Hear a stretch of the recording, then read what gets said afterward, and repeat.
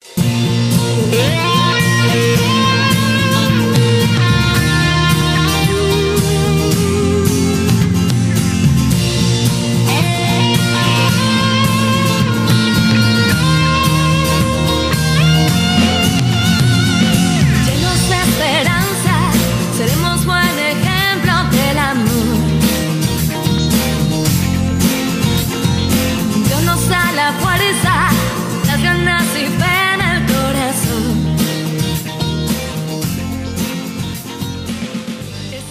noches, muchísimas gracias por acompañarnos en este especial que estamos desarrollando con motivo del Día Nacional de la Juventud, que como se lo dijimos en nuestro primer programa va a tener como sede eh, la diócesis de San Isidro del General y precisamente se va a estar desarrollando acá en el Centro Salesiano Don Bosco. Pero ¿qué incluye toda esta celebración? Una logística bastante amplia, un equipo de trabajo que desde hace muchísimos meses pues está trabajando precisamente en todos los detalles de la organización. Y para ampliarnos un poco más los detalles, tengo a mi lado al presbítero Sixto Flores, quien es el director precisamente del Centro Salesiano Don Bosco, ubicado en Villaligia, en Pérez Celedón. Muy buenas noches, muchas gracias por acompañarnos, padre. Muy buenas noches, gracias a ustedes por tomarse el tiempo de venir y al mismo tiempo de ofrecernos esta oportunidad. Padre, en primer lugar, se escoge el Centro Salesiano como sede de lo que será esta actividad donde se esperan a 15 mil jóvenes. ¿Dónde se va a albergar tantas personas? Bueno, el, centro Don Bosco, además de lo que es eh, el edificio que tenemos, tiene una propiedad detrás que tiene pues una extensión bastante amplia y debido a un poco de, limitantes que tuvimos para conseguir otro tipo de terrenos, pues yo ofrecí pues el, terreno para que se realizara este acontecimiento, pues sí tanto pues el obispo como el equipo central tuvo a bien pues elegirlo. Exactamente cuánto terreno estamos hablando. Estamos hablando de 16 manzanas, 13 hectáreas. Eso es todo lo que es el centro. Y propiamente para la actividad. El, terreno. Para la propiedad. ¿Y qué se va a hacer? ¿Se va a adecuar? ¿Se están haciendo algunos trabajos para ese día? Lo primero que hicimos fue pues aclararlo, ¿verdad? Porque estaba lleno de, de helecho y todo para ver que se contemplara bien el terreno. Y luego pues se, está tratando de preparar, hemos ya pactado una nueva entrada, ya con unos vecinos, ya se hizo una tercera entrada porque ya la comisión de emergencia nos pedía un tercer acceso para cualquier cosa, ¿verdad? Entonces ya hemos pactado y ya se hizo también, ya se le, se le puso pues alcantarilla para que pueda pasar también por ahí no solo gente, sino pues también vehículos. Y luego pues vamos a ir ya acercándose la fecha, vamos a ir preparando las áreas que, se van a estimar en donde va, se van a tener pues los, ya sea las ventas, las tarimas, ya sea el, ambiente pues de los confesionarios y todo lo que sea contemplado como áreas de, que van a usar pues los muchachos. Toda esta infraestructura, toda esta inversión, ¿por cuenta de quién corre, padre? Pues eh, es eh, quien organiza todo y es responsable en la conferencia episcopal, ¿verdad? delegada en la Comisión Nacional de Pastoral Juvenil. Solo que esto pues por tradición se ha estado realizando a este en cada oportunidad en una diócesis en particular. En esta oportunidad tocó a la diócesis de San Isidro del General y por lo tanto la responsabilidad también económica mm. recae precisamente en la, en la diócesis. Padre, ¿qué se siente saber que el Centro Salesiano Don Bosco va a ser la sede y albergar a tantos jóvenes y adultos de todo el país? Pues yo lo miro como una manera muy providencial. Desde el principio pues me llamó mucho la atención porque este año los salesianos estamos celebrando el bicentenario del nacimiento de Don Bosco y entonces eh, cae muy bien pues un acontecimiento así en un centro pues eh, salesiano aquí en Costa Rica y creo que es muy providencial y, y, va a ser pues una bendición tanto pues para la diócesis como también para nuestra obra salesiana. Qué importante, padre. Ya sea usted referencia los planes de emergencias de la Comisión Nacional de Emergencias. Me imagino que ustedes también han iniciado conversaciones, eh, reuniones con los diferentes cuerpos de seguridad, como la Fuerza Pública, la Cruz Roja, los bomberos, también la misma comisión, porque es muchísima población y además es una actividad masiva. Cuéntanos un poco los detalles, cómo está esto, cómo están los planes. Desde el principio hemos sido asesorados por las experiencias anteriores, ¿verdad? Fuimos incluso todo el equipo central a Punta Arenas, en donde pues se realizó el Día Nacional el año pasado y ellos pues nos dijeron todo lo que habían hecho ellos, cómo lo habían hecho, el montón de comisiones y todo, y de ahí pues fuimos sacando pues experiencia, de ahí hemos derivado en hacer pues una comisión de logística que tiene pues sus subcomisiones, una que se está encargando pues de los permisos necesario, ¿verdad?, para una actividad como esta, desde tramitar la póliza por el acontecimiento, ¿verdad?, que también pues hay que prever esos aspectos en cuanto pues a la seguridad, este muchos del equipo y voluntarios han recibido ya estas semanas pasadas un curso para atención de eventos masivos, incluso entonces, este, eso pues para ayudar a fortalecer todas estas cosas. Y estamos previendo pues eh, eh, ya encaminando por los permisos con fuerza pública, bomberos, Ministerio de Salud, todos pues los detalles eh, para tener esto pues lo más seguro posible. Exactamente, padre, estamos hablando, ya se lo decía al inicio de esta entrevista, aproximadamente 15 mil personas, es lo que ustedes esperan me imagino que la Cruz Roja pues va a tener que estar dentro y, también sumado a ello van a tener que contratar este, seguridad privada o no se contempla dentro de esto? Como no, ya, ya está contemplado, ya incluso pues está negociado ¿verdad? el equipo de seguridad que va a estar pues tanto eh, cuidando pues los, los, ambientes externos como interiormente, ¿verdad? incluso para el cuidado de, la, de lo que es tarimas y todo eso que ellos vienen a a, estructurar todo pues días anteriores. ¿verdad? Otro punto importante es el transporte. ¿Cómo se van a trasladar tantos jóvenes de diferentes partes del país hacia acá, hacia el centro salesiano Don Bosco? Pues el cómo se van a transportar, cada diócesis se las ingenia, ¿verdad? Ellos ya están, lo que están previendo ellos es si, si pueden venirse un día antes, si pueden, incluso algunos han pedido un lugar para donde asearse, ¿verdad? Antes de, que piensan este, venirse de madrugada o, muy de noche, pues este, para venir a, vivir todo el acontecimiento aquí. Lo que estamos, eh, en donde nos estamos preocupando más es en ver en dónde estacionamos a esta gente, ¿verdad? Y ya estamos previendo también los lugares, Los parqueos, decirlo así. Los parqueos que sean cercanos también, pero hay bastantes pues espacios que ya pues hemos estado previendo.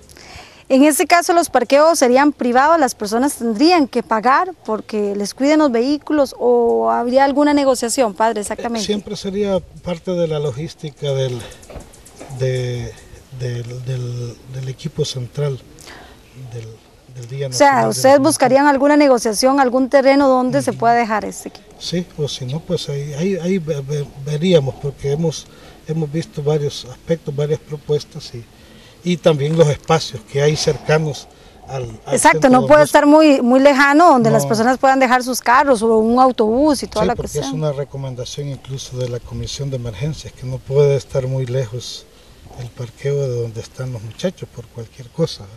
Bueno, y parte de la logística también, padre, es la alimentación. Son muchísimas personas. ¿Esto cómo va a funcionar? Pues ya también está previsto con todo pues un, un equipo de, sobre todo de de los, eh, los señores eh, del grupo de los catecúmenos son los que se van a encargar de proporcionarnos pues este, los almuerzos para los muchachos hemos hecho una negociación pues con ellos ellos van a aportar pues todo y, pues ahí veremos pues eh, tuvimos que negociar incluso hasta los porcentajes bueno padre pero cuéntenos un poquito cómo está esa rutina va a haber desayuno almuerzo cena ¿Cómo lo que se ofrece en el paquete con los muchachos es solo el almuerzo Ya, por ejemplo, la, diócesis de Limón vino la semana pasada por aquí a, buscar lugares en donde poder desayunar, a ya, pero ellos ya, cada diócesis se encarga de eso. Nosotros lo que ofrecemos es el almuerzo del día, del día del acontecimiento. Bueno, y, me imagino que esto conlleva bastante tiempo también porque darle comida a tantas personas, a miles de personas, no va a ser tan sencillo, padre. Sí, por eso quisimos encargarle esta responsabilidad pues, a un grupo grande y que tiene también su propia logística de, de acceso pues a todos eh, a todas esas cosas y la búsqueda de medios para no echarnos a las espaldas pues todo eso nosotros porque sí ya es ya es complicado como dices tú darle de comida a 15 mil jóvenes Padre, y no solamente, digamos, el almuerzo, en el lugar también se va a realizar ventas a las personas que quieran adquirir algún tipo de productos adicionales. Pues eh, eh, por lo menos lo que es hidratación sí va, va, se va a proporcionar. ¿verdad? de parte de la, de la Comisión Central, lo que es hidratación, todo tipo, y, aspectos pues de, carácter pues religioso, un recuerdito de la, del Día Nacional, ¿verdad? Hemos mandado a elaborar ciertas cosas que pues van a ser como recuerdos que, que también le llaman la atención. Pues, ¿Recuerdos como qué, padre? Podríamos mencionar. Un, denario. ¿Pero eso tiene alguna imagen particular de la diócesis? Este, por lo menos los denarios y los rosarios van a llevar una, una imagen de, de San Isidro, ¿verdad? Y por el otro lado, pues el, logo del Día Nacional. Padre, ya lo mencionaba usted al inicio, eh, parte de todo lo que conlleva este proceso también van a haber muchos toldos, eh, me imagino que una tarima principal. ¿Cuándo inician la colocación de todo eso? Pues por lo menos la empresa que viene a encargarse de tarimas y todo ha pedido estar por lo menos una semana una semana antes del, día del acontecimiento y así ya por completo tres días antes, porque ellos tienen que armar todo, las pruebas de sonido y esas cosas. ¿Qué ha significado para ustedes este reto, padre? Pues eso es un reto. Realmente pues ha sido un reto porque hay, hay cosas que pues se le pueden escapar de la mano, el mismo hecho pues eh, la misma comunicación ha sido algo que hemos tenido que ir purificando siempre en el camino porque pues ya somos seres humanos y, también dentro de esos jóvenes que se, distraen o, pasan inadvertido alguna cosa y uno tiene que estar machacando tal vez como adulto, ¿verdad? Y todo, pero eh, gracias a Dios pues ha habido mucha armonía. Gracias también a Dios hemos tenido esa compañía muy cercana del obispo y del, del clero que nos ha ayudado mucho, nos ha apoyado e incluso pues económicamente, ¿verdad? En esto ha sido pues muy muy generosos. Padre, y en el caso suyo finalmente, entonces le podríamos decir a todas esas personas que vienen a la celebración que pueden contar con una plena seguridad de que este terreno es el más adecuado, que se va a contar con todas las medidas y todas las disposiciones necesarias para que se desarrolle con normalidad. Es lo que estamos previendo, ¿verdad? Darles pues la oportunidad de que vivan un día nacional bonito, especial y lo más seguro posible.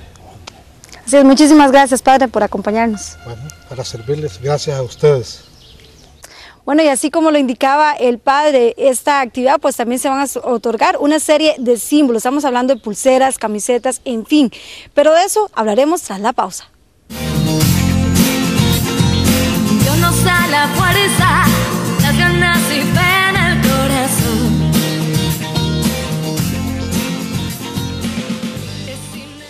18 de julio, Día Nacional de la Juventud. Sede Pérez Celedón. Vea todo lo concerniente en este magno acontecimiento los miércoles 24 de junio, primero 8 y 15 de julio, a las 6 de la tarde, en Canal 14, en el corazón del sur.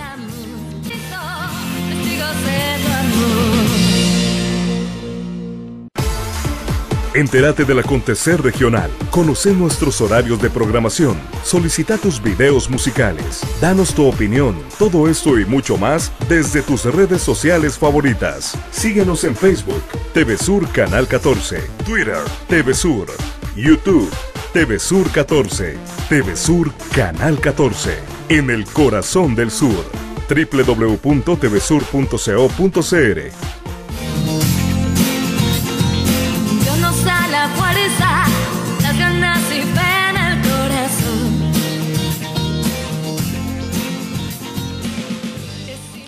Muchísimas gracias por continuar con nosotros en este programa especial previo al Día Nacional de la Juventud. Y ahora me encuentro con Claudia Vargas, quien es integrante de la Pastoral Juvenil. Bueno, Claudia, mencionaba el padre, hay un montón de símbolos, pero lo que la gente no sabe es que previo a toda esta organización hay precisamente un himno, hay pulseras, hay un logo, hay un lema. Empecemos eh, con lo más sencillo. Lo primero que todo ustedes definieron como comisión fue el logo. Este que ustedes pueden observar en imágenes precisamente es eh, el logo que se escogió. ¿Qué significa esto? ¿Qué son los colores? ¿La forma? Sí, Carmen, bueno, gracias. Buenas noches. Eh, el logo fue una de las primeras eh, cosas que se escogieron precisamente en el equipo central de organización. El logo representa la realidad prácticamente de la, de la diócesis y pues em, algunos símbolos importantes que nosotros queremos darle a conocer a todo el país. Em, detrás del santo, que lamentablemente ya no lo tenemos verdad acá en nuestra diócesis, pero eh, hay una, una, forma circular que quiere representar las, las esferas precolombinas, ¿verdad? que son muy características acá de la zona sur, el mismo príncipe de la paz, que no solo eh, esa imagen que siempre estaba señalando al, al Valle en general y en fin, para nosotros era toda la diócesis, em, sino que representa ese mismo Jesús, ¿verdad? Que nosotros tenemos pues como, o debemos eh, seguir y queremos seguir como modelo. Eh, DNJ, las letras que son Día Nacional de la Juventud, y en cada una de esas letras hay un dibujito. En la D em, que hay una, un pececito pues que representa la zona costera, eh, parte de nuestra diócesis. En la N hay una hojita que por supuesto es toda la, parte agrícola que es gran parte de ingreso para, para la mayoría de las personas acá en la zona sur. Y el petroglifo que está en la J, ¿verdad? Por supuesto del aporte indígena que también existe eh, acá en nuestra diócesis. Y el yo me apunto, que es el lema que escogimos para el Día Nacional, que ese lema no nació tampoco por, por mira así, qué bonito, sino que también había una cita bíblica que fue em, lo primero, de hecho la cita bíblica fue lo primero primero que escogimos y el yo me apunto precisamente responde a esa cita bíblica que es de la primera carta de Timoteo 4.12 que dice evita que te menosprecien por ser joven, más bien sé un ejemplo en tu modo de hablar y portarte, en fe, amor y pureza de vida. Entonces eh, yo me apunto a ese estilo de vida que me propone Jesucristo. Claudia, ¿cuándo escogieron ustedes esa cita bíblica o es alguna referencia de algún padre? ¿Cómo, cómo surgió todo esto? Bueno, fue una lluvia de ideas, ¿verdad? Estuvimos en reunión, eh, fue el año anterior, desde el año anterior empezamos en reuniones, eh, aproximadamente julio, agosto del año pasado, ya fin de año, eh, por ahí en agosto, con toda la lluvia de ideas de, citas bíblicas que nos gustaría, y pues en conjunto precisamente el Padre Sixto, asesores de pastora juvenil, los delegados diocesanos y los que pues conformamos el equipo central, eh, fue que llegamos a, elegir esa cita bíblica que vimos como la más adecuada, la que nos iba a dar más sentido al día. Y en el caso del logo, aproximadamente cuánto duraron en, diseñarlo y quién se encargó precisamente de todas esas ideas que ustedes tenían plasmarla en esa imagen. Bueno, las ideas surgieron de acá, por supuesto, del mismo equipo central. En, ese, en esos momentos en que íbamos a escoger el logo estuvo también el padre Oscar Navarro, Monseñor Gabriel, que él siempre ha estado ahí muy, muy anuente y súper metidillo dentro del proceso. Em, y la diseñadora es una muchacha de Alajuela, de la diócesis de Alajuela, diseñadora gráfica, que también ha tenido proceso en pastora juvenil, ella ya es una mujer casada, pero ella eh, de esto sabe. ¿El nombre lo tiene, Claudia? Sí, ella se llama María Barahona. Eh, y ella es diseñadora allá de Alajuela, entonces ella supo plasmar muy bien lo que las, las indicaciones que nosotros le dimos, incluso los colores, ¿verdad? El, el amarillo mostaza, el anaranjado y el verde. El verde eh, que para nosotros pues representa por una parte la, la, pues, la vegetación, ¿verdad? la agricultura de la, de, la, de la diócesis, pero también la esperanza y los otros colores, la, la vivacidad, la energía, la alegría que ponemos los jóvenes a la iglesia. Bueno, y es que parte también de todo lo que conlleva la logística está un himno. Precisamente para ello se llevó a cabo un concurso y ya eh, fue la canción que va a ser la que esté sonando previo y también durante la actividad. Son unos unos jóvenes vecinos de Frailes, me decía usted, eh, que ganaron precisamente este concurso. Cuéntanos un poco los detalles. Sí, bueno, el, el himno salió concurso en el mes de enero eh, llegaron aproximadamente 14 propuestas de todo el país. Fue muy interesante ver una propuesta, por ejemplo, de, Guanacaste, una de Limón. Entonces, este, porque venían obviamente estilos variados, cada uno como con sus rasgos de, lugar. Y pues eh, debían inspirarse en la cita bíblica, en el objetivo del Día Nacional y en el lema. Entonces hubo un, jurado integrado por cinco personas, dos sacerdotes, un músico profesional, un productor musical y un joven representante pastoral juvenil. Eh, y pues, eh, como dice usted, los ganadores son de la diócesis, de la arquidiócesis de San José, son de frailes. Así es, bueno, precisamente esa canción ya está sonando, por supuesto como en Radio Sinaí, que ya se escucha, ¿verdad? Esta, esta melodía. Y es que también no solamente es música, no solamente es un lema, también el día propiamente la actividad, los jóvenes van a estar uniformados. Para ello, por ejemplo, eh, se están vendiendo camisetas desde ya, desde la página web de la Pastoral Juvenil de Costa Rica y también pulseras. Cuéntenos un poco sobre esto, Claudia. Sí, todos estos signos visibles eh, que nosotros queremos pues poner a disposición de todos los jóvenes. Eh, la, pulsera, que en realidad es la, entrada como tal al evento, em, es muchas veces, y de hecho muchos tienen como la colección ahí, todos los años de días nacionales tienen ya su pulserita. Eh, la, bueno, la pulsera tiene un costo de 2.000 colones.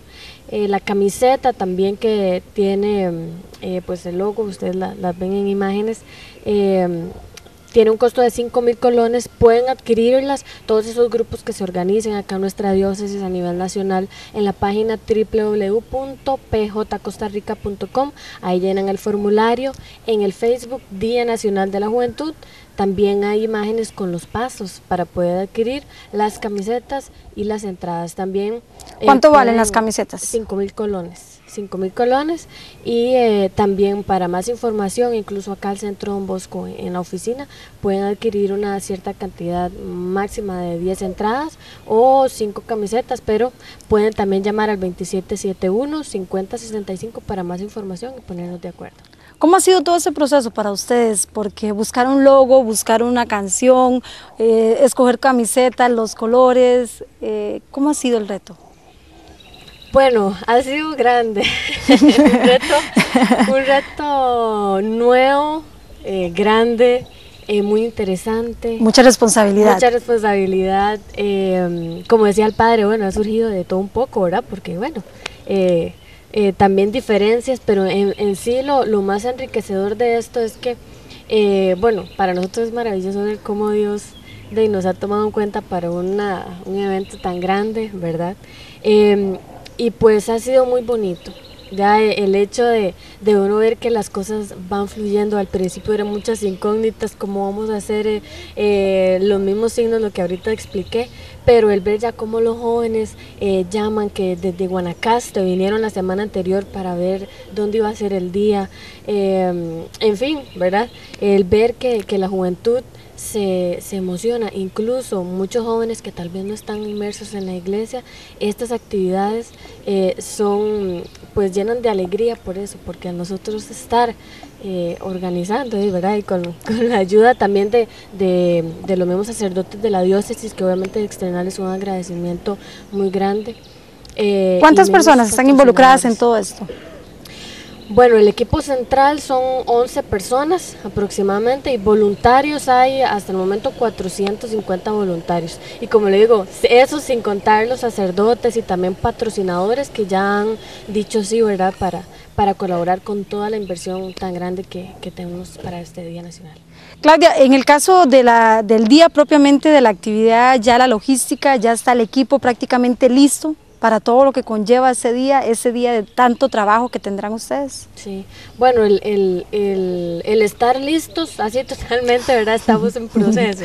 Este, este mes y medio es como lo más fuerte, lo más eh, duro, lo más tal vez estresante, podríamos decir, porque es cuando las diócesis empiezan a buscar información aquí y, los detalles que a veces quedan para el final es cuando más hay que, hay que ponerle. Pero eh, los jóvenes están entusiasmados y pues ahí estamos trabajando, gracias a Dios, para, para si Dios lo permite, que todo salga de la mejor manera. ¿Cuántas comisiones hay involucradas?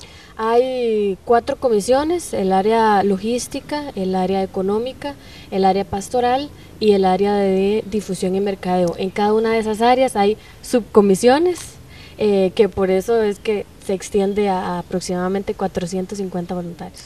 ¿Y en este caso específico todos son de Pérez Celedón o también hay de otras partes de la zona sur? Claro, hay eh, voluntarios de, toda de todas las parroquias de la diócesis, jóvenes que, bueno, ya tuvimos una reunión donde se convocó a todos los jóvenes que iban a ser voluntarios, no, no vinieron todos, ¿verdad? Por distintas realidades, pero eh, jóvenes de Río Claro, de Ciudad Neily y desde la zona de Los Santos y todo eso.